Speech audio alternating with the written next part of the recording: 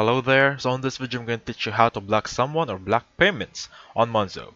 So actually with this one it's very simple, open Monzo application and then simply go to the payment section to find a transaction of the person you want to block to.